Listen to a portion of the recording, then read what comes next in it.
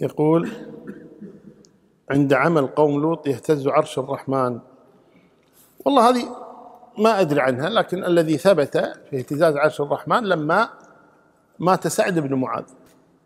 لما مات سعد بن معاذ يقول النبي صلى الله عليه وسلم اهتز له عرش الرحمن. وعمل قوم لوط لا شك أن هذا من كبائر الذنوب وهو كما قال أهل العلم أعظم من الزنا. أعظم لأن الزنا فيه يعني شهوة الرجل مع المرأة وهذا أمر طبيعي أن الرجل يميل للمرأة.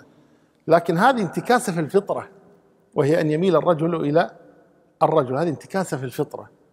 فلذلك صار أشنع من عمل آه، الزنا والعياذ بالله. لكن يهتز له عرش الرحمن؟ لا أدري عنه.